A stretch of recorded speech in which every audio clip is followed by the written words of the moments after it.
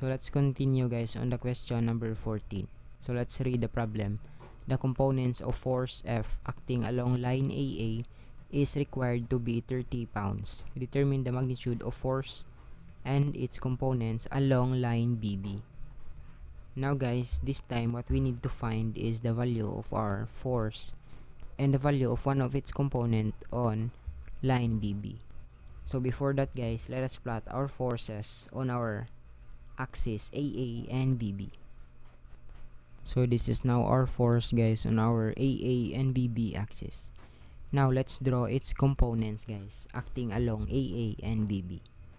First, let's draw its components acting along line BB.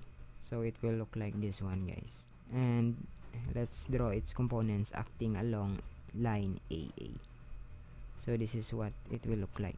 So we can call this one guys as our force A since it is along on our AA axis and this one as our force B. Now guys, in the question, the components acting along line AA is required to be 30 pounds. So this one, the force A, is already has its value that is 30 pounds. What is asked guys is the magnitude of our force and the magnitude of our force B. Since our force B is the component along line BB. So now guys, let's draw the parallel line so that we can now form our parallelogram since we will be solving this one using parallelogram law. So from the tip of our force A, let's draw a parallel line of the force B. So since this is parallel to the force B, this is also force B. And from the tip of our force B, let us draw a parallel line of the force A. So since this is parallel to our force A, this must also be 30 pounds. Now guys, the line F divided our parallelogram into two congruent triangles. So we can use either of the two guys in solving the value. So let's just use this top triangle guys to solve for our force and force B. So let's draw that again guys. So this is just a copy guys of our triangle which is this one. So let's copy its values. This is 80 degrees. This is the line force. This is our force B and this is 30 pounds. Now guys, let's look back at our parallelogram to identify the interior angles. So by looking at this one right here guys, the properties of a parallelogram, alternate interior angles are equal. So this angle right here and this angle right here is an alternate interior angles. So this must also be 60 degrees. And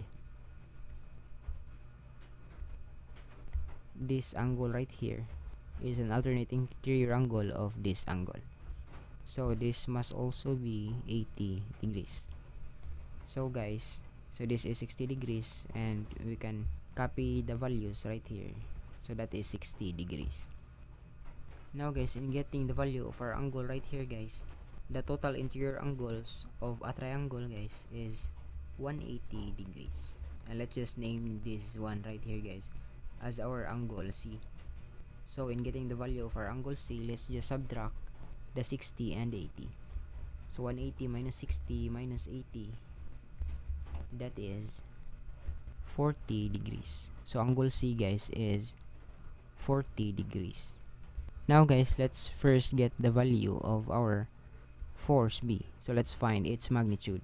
And we can use the law of sine. So, force B over its opposite angle that is 60 degrees, so sine 60 is equals to 30 pounds over sine 80. So, force B is equals to sine 60 multiplied by 30 over sine 80. So, the value of our force B is equals to 26.382 pounds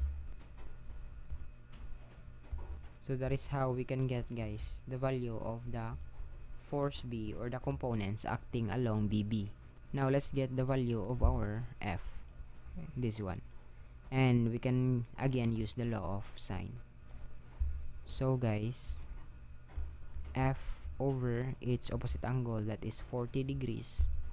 So sine 40 is equals to 30 pounds over sine 80. So f is equals to sine 40 multiplied by 30 over sine